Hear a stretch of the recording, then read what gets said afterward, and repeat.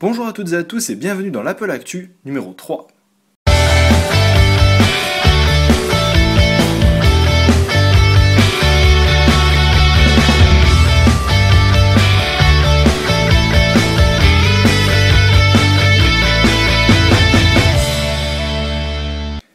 L'Apple Actu sera divisé en deux parties. La première concernera les news de la semaine et la seconde les tweaks Cydia de la semaine.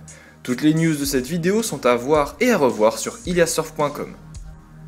Comme vous le savez, Instalus s'est terminé et cette semaine nous vous donnons les noms des 4 meilleures applications pour remplacer Instalus. L'iOS 7 est très attendu pour toutes ces nouveautés et les hackers se penchent dès maintenant dessus pour nous proposer un jailbreak untethered le plus tôt possible après sa sortie. L'iOS 6.1.3 est sorti il y a peu et aucun jailbreak untethered n'est disponible. Les mauvaises nouvelles ne s'arrêtent pas là car Pod2G nous annonce via son Twitter qu'il ne travaillera pas sur un jailbreak untethered pour cet iOS. L'iTV avance à grands pas.